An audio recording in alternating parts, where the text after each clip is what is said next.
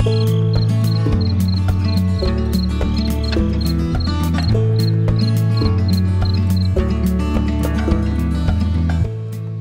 everyone, I'm glad you're here. Thank you very much for joining me. This morning, there by Sandy Mush in North Carolina, they had an earthquake. It was a magnitude 3.4. 6.09 a.m. local time, and 443 people said they felt this earthquake. Sandy Mush has a population of close to 1,300 people, so when they said 443 people felt this earthquake, I was very impressed. Yeah, it was a 4.3, but USGS said it was a magnitude 3.2. For some reason, when I click on the felt reports, yeah, um, the little blocks don't show up. I don't know why. The earthquake station that I found was most useful was this one up over here. Down here is the 3.4. There was also a magnitude 1.8 and that was on the 26th of last month. So let's zoom in to this location. Let's see, there's the 1.8 and there's the 3.4. Supposedly, I don't know if it's true or not, um, but Sandy Mush got its name because they were making mush, which is a meal made from corn, uh, cooked into a gelatin and then um, baked into square cakes, um, sometimes with syrup put over the top of it. And what happened was they were making this mush along some river, and the sand got into their food, so they called it sandy mush. Mush evidently is a very popular meal on the East Coast. There has been a reactivation of some of these ancient faults uh, supposedly there's no faults um, that are Holocene, meaning newer faults. And the fault earthquakes that do happen are relatively shallow. To the north, there's the Ramapo Fault. According to geologists, uh, most of the earthquakes that are the larger ones are a magnitude 3. Well, this one was a 3.4. And they say that damaging earthquakes don't occur in this area. Well, I don't believe that. In 1861, there was a magnitude 5.1 earthquake near Wilkes County.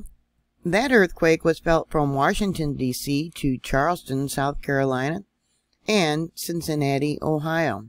Then in 1916, there was a magnitude 5.5. It was named the Skyland Earthquake. It occurred in the Skyland, Waynesville, Tryon, and Forest City area. That one also caused damage. It was felt over 200,000 square miles, including the Carolinas, Alabama, Kentucky, and West Virginia. Then in 1926, there was a magnitude 5.2. It was named the Mitchell County earthquake. It toppled chimneys and damage including cracks in homes' foundation, dislodged foundations, broken water pipes, and fallen glassware from shelves. This here is the seismic hazard map from USGS. Um, this is from 2008. I did get two different monitors to download the data. The one on the left is from Sandy Mush, and then the one on the right is from Murphy, North Carolina. Uh, you can see here the one from Sandy Mush, there was a foreshock just before. Let me make that bigger. And for those of you that have larger screens to look at this on, you can see it was a magnitude 3.41. Let's see what we can do with the seismic signature. I'll try and make that bigger. Okay, yeah, that smaller quake doesn't show up on here. Um, but Sandy Mush has been having uh, quite a few earthquakes. We got this one right here. Um, let me pull this up. Okay. We got another one right there. Yeah, these are slow moving earthquakes. Very slow moving. Or slow moving tremors is what they call them. Yeah.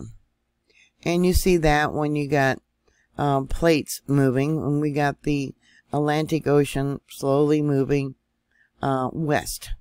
And then we got another one here. And a little blip there. I'll have to make that bigger. Okay, a little blip there.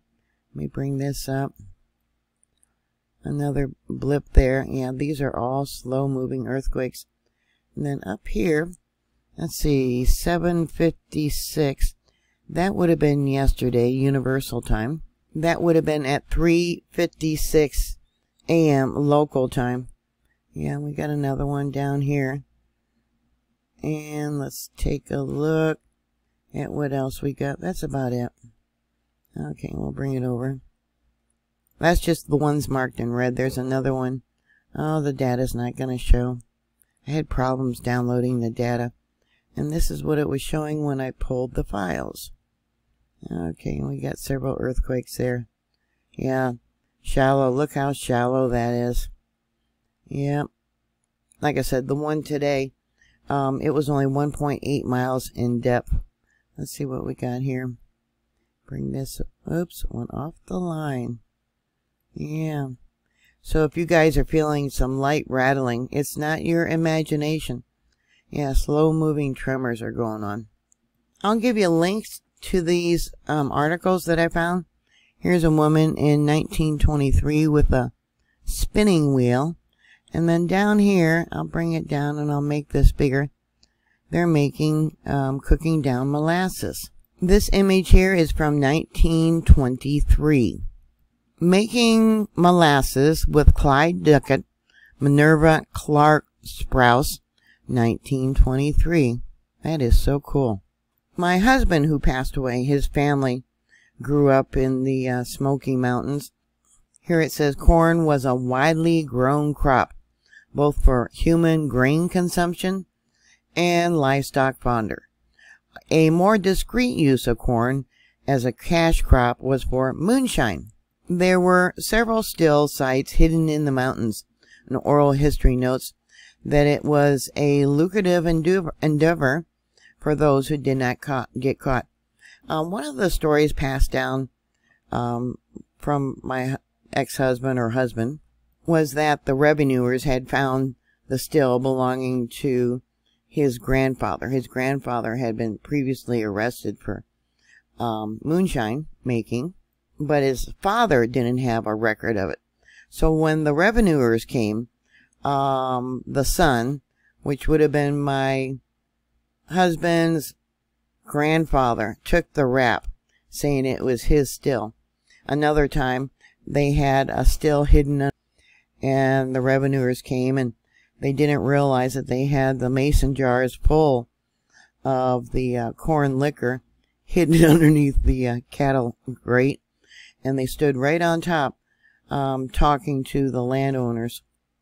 I don't know how much time the son spent in jail, but if the grandfather or great grandfather would have admitted that it was his still, he probably would have gotten a lot longer time because he had been busted before. Here's another image. It says Dr. John Kerr making house calls in Surrett Cove, taken sometime between 1953 and 1985. I imagine that was the dates when he was in practice.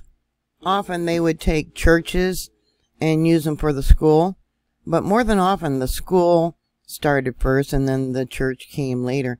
This is supposed to be night school. Uh, picture was taken in 1924. And another image of wheat harvesters taken in 1924. On the right here is from World War One, uh, taken in 1916. It says um, Hillary Garden and Raymond Wells, 1916. Yeah, I hope they made it back. Yeah, a little bit of wonderful history from that area. So what are your thoughts? Put your comments down below. Did you feel this earthquake? Like I said, it was a 3.4. Did you have any damaged things knocked off the shelves? How did your pets and livestock react? Yeah, I would like to know all that. Um, thank you very much for watching. Thank you for subscribing. As always, like, share, and make sure you're subscribed. And I'll talk to you later. God bless you. All. Bye.